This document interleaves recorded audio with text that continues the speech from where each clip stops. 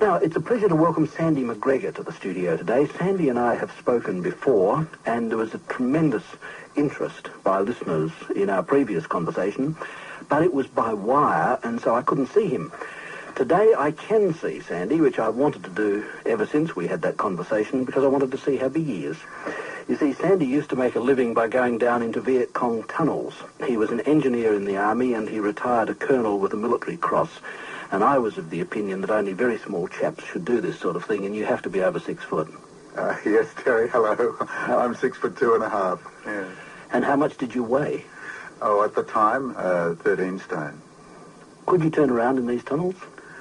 Not initially. It, uh, some of the tunnels are so small that you've got to keep on going until they do open out. And then, when there's another room off them, you can. But then again, some other tunnels, um, some four foot six inches high, uh, you know, so that you, you can turn around in some, yes. I seem to remember I put this question to you like this last time. This is a stupid question, but were you scared? Oh, absolutely. absolutely. yes. So why was it necessary to do it? Why did you have to go into the tunnels? Uh, that's a really good question. Um, up until that time, uh, tunnels hadn't been searched out. They were they were basically when a tunnel entrance was found, uh, tear gas, um, bit of smoke was thrown down it, and the entrance was sealed. Um, what we did was we physically went down the tunnels, and as soon as we did, we found intelligence, and particularly in that uh, area of tunnels uh, in uh, the Hobo Woods. We landed right on the headquarters area, and we took out, for instance, besides ammunition, equipment, uh, tons and tons of explosives, we took out over 100,000 sheets of paper, mm. which was intelligence that was, uh, I mean, for instance, one of the bits of intelligence we got was a hundred uh, was the hit list uh, that the Viet Cong had on all the uh, the major serving people in Saigon at that time. Did you ever did you get into any of their rooms, the chambers where they were reported to have things like hospitals and yes. lecture theatres yes. and uh, not lecture theatres as such, hospitals for sure, yeah. uh, ammunition, uh, uh, making ammunition bays, those sort of things. Not as big as lecture theatres, no. Mm. Now, uh, did you admire their courage and their ingenuity? Yes, yes. They're very, very clever, cunning uh, sort of people. How long were you in Vietnam? Thirteen months. I, uh, I think I might have said this to you last time too, Sandy, that uh, my feeling about this is mixed. I uh, am astonished and have great admiration for your courage, but I wish you hadn't been there. Yes, I can understand you saying that. Uh, for me, it was not a matter of choice anyway. I was doing what uh, my job was. I, I, was doing what my government said, what my army said, and indeed it was a plum posting for me. I enjoyed my time there. I enjoyed the challenge of command, and I enjoyed the job. But it was their country, not ours. Um, that's certainly true, but really we were not into the politics of it. Mm. Now, these days you make a living teaching people how to realize their full intellectual potential. Yes. And that was what we were talking about last time, and we will talk about again. Um, and uh, just again a little bit of biographical mm-hmm. information. Mm-hmm. Tell us about your son and how he controlled his asthma and uh, how he used uh, the, the sorts of techniques that you now teach sure. in order to avoid having his leg amputated. Right. Well, Andrew uh, 13 years ago, Andrew was 17 years old, and he'd had asthma since he was a small child. And when um, uh, when we'd reached our wits' end and he he was ended up on cortisone drip in a hospital, I took him to a doctor who taught Andrew using the power of his subconscious mind to relax and release stress very fast. And Andrew started taking control over his asthma. It was like, yeah, I'm in control of this, you know. Mm. And he immediately started to get better. And then he broke his leg in two places, bone shattered, sticking out, all of this sort of thing. And uh, the doctors were going to cut his leg off. And uh, it was then that um, I brought this other doctor in again, and he said, look, he said, what I'll be able to do with Andrew is help him use his subconscious mind so that he can release pain using it. And at the same time, that means he won't be on cortisone because that inhibits the growth of bone marrow. And he said he could use his, his subconscious mind to help heal his leg. This, of course, as you know, was all double Dutch to me because I didn't understand it. But of course, Andrew did it, and miracles are miracles. He's got his leg and he doesn't have asthma. Now, my background, military, uh, through Duntroon Military College, and then, of course, through Sydney University doing civil engineering, and you can't get a more left-brained analytical person than that, I don't think. And, of course, I'd never heard of the subconscious mind, but I could see its power. So I said, Andrew, teach me, and that's when I started. But one of the definitions of the subconscious mind, Sandy, is that it is not accessible to intentional control. Well, I'm, I'm not sure about that definition, uh, whether it's accurate or not, because you can certainly put things into the subconscious mind deliberately. You can access it also deliberately. One of the things that science has found, and there's a lot of science in the last 35 years, since Lozanov, in fact, was uh, in Bulgaria teaching languages three to seven times faster. There's been an enormous amount of, uh, of development uh, of uh, the brain or the mind and or research actually.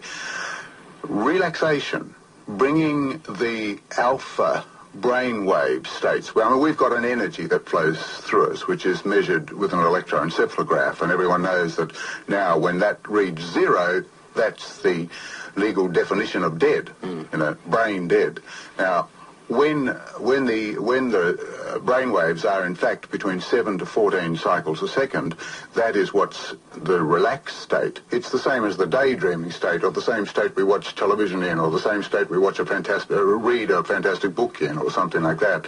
Single focus concentration. When you're in that state and the brain waves come down that allows you access through your reticular activating filter, which opens up into the subconscious mind. And all your memory, habits, personality, and self-image is all in your subconscious mind. It's 90% of our mind. Now, um, at the time that your son was applying these techniques, mm-hmm. what were you doing then? Were you an engineer at that stage, or um, a retired uh, army colonel? Or uh, no, no. At that stage, I was still in the army reserve, and I was a colonel. Uh, and at that um, uh, at that time, I was working as a, the national production manager at a, a, at a Simmons bidding factory and furniture factory, that sort of thing. So, Still so analytical work. When did you decide that you were going to turn what had worked in Andrew's case yes. into a personal profession? Ah, this would have been soon after my daughters were murdered. And, and Jenny and Kirsty and Lexi um, were murdered back in uh, January 1987. And... Uh, uh, they were twins who were 19 years old, and Lexi was 16 years old.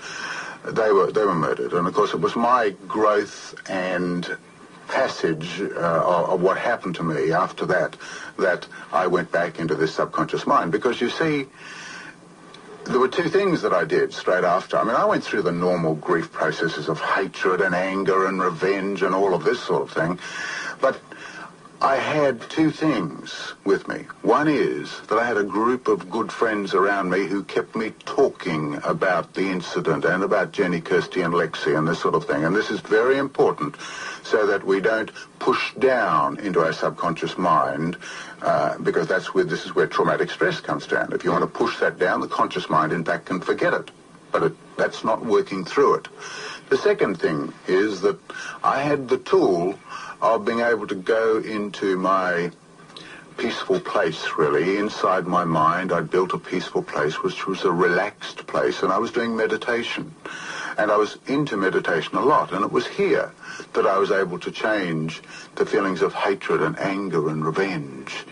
And God, why me? You know, and I'd get some answers to these questions, and and it was a message, a very clear message that said, if you persist in thinking like that, and you know, as a man thinketh, so he'll become. Uh, if you persist in thinking like that, that's that will consume you, and you will end up like that. And I said, aha, I'm not like that.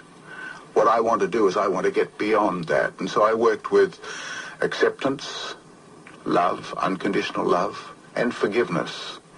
And I did a lot of work on myself. And it was after that that I went to the United States. And then I met uh, this person who could teach. Stephen Snyder is his name, fantastic guy. And and I was on a course uh, for six weeks, uh, 12 hours a day, really. And it was during that course that Stephen Snyder um, taught us all in one day to be able to relax and release stress in 30 seconds. And wow, was I excited. Because at this stage, I'd already proved that, you know, I could release weight and bring down my blood pressure and, and all of those sort of things. But no, I didn't know how to do it in 30 seconds. Have you met the killer, your daughter's killer? No, I haven't met. Mm. No. I mean, you, you, you just talk about it as though it was something that you were able to cope with, but as you say, a mixture of grief and hatred. What was special that you were able to cope with it and then turn that experience into a vocation? I really think it was the knowledge ultimately of, develop, of, of, knowing just how powerful the subconscious mind is and how the subconscious mind can be accessed. You see, in learning with Stephen Snyder the ability to be able to do it very fast, that was a way that I therefore knew how to be able to do things like accelerated learning, how to do, how to get goals faster and all of those sorts of things. However, the deeper thing, which is how I managed to, to get through this process, was meditation. Well, that takes you down to what we call the theta state. And so it's in the theta state that you can work on yourself with things like, um, uh, well, meditation, spiritual meditation, or meditation for forgiveness, or those sorts of things, and also healing. So it's all still access to the subconscious mind. And I realized the importance of this and it was then as a result of getting Stephen Snyder to Australia, and I worked with him for some 22 seminars. Before then, about two and a half years ago, I went by myself. You call your technique CALM. What does yes. CALM stand for? CALM stands for Creative Accelerated Learning Methods. And uh, I suppose if I say what is it, you'll you'll tell us what you've already told us. Uh, I mean, uh, no, no. Um, very briefly, the CALM seminar itself is a one-day seminar whereby everybody learns to be able to relax and release stress in 30 seconds. Mm. How then to, uh, it's associated with accelerated learning, memory, recall, focus, concentration, and then the ability to use the language and the laws of the subconscious mind because, I mean, for instance, the language of the subconscious mind is emotion it was only proved in 1971 by Rappaport that it's the very basis on which memory takes place. So that's the language of the subconscious mind. And then using all of those tools, we can get goals faster. And the additional um, uh, seminar is, is the one that is on meditation and how to meditate and also on healing, how to actually do almost how to do what Andrew was doing some 13 years ago. Mm. And Sandy, you work with children. Oh, yeah. Because I, I, I see a, a, letter here from, I think, a 13-year-old who's, uh, who's uh, writing in praise of your techniques. He says, uh, since your seminar, I have excelled both academically and in sport. I just had my first semester's report in which I got near straight A's in maths and English and all straight A's in Italian. Uh, your book is called Piece of Mind? Yes, it is. Yes, it's in uh, book. It's and in, people can find it in bookshops?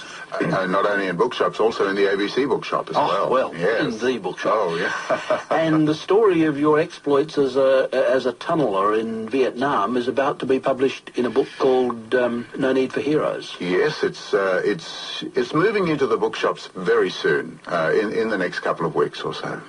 Yeah. And, and this is your personal story. Uh, it's it's like a biographical story, but by the same token, it's the story about all the guys that were in Vietnam, uh, and it's their story, really. And it's funny, and it'll make you cry, and it'll make you laugh, and it's dangerous, and all of those sort of things. Yeah. Yeah. Well, Sandy, it's been a great pleasure meeting you. Now, Sandy MacGregor's book is called Piece of Mind, P-I-E-C-E, Piece of Mind, and uh, the book about tunnelling in Vietnam or going into the tunnels in Vietnam is called No Need for Heroes to be uh, in the shops shortly. Sandy MacGregor, thank you very much for your time. Thank you very much, Terry.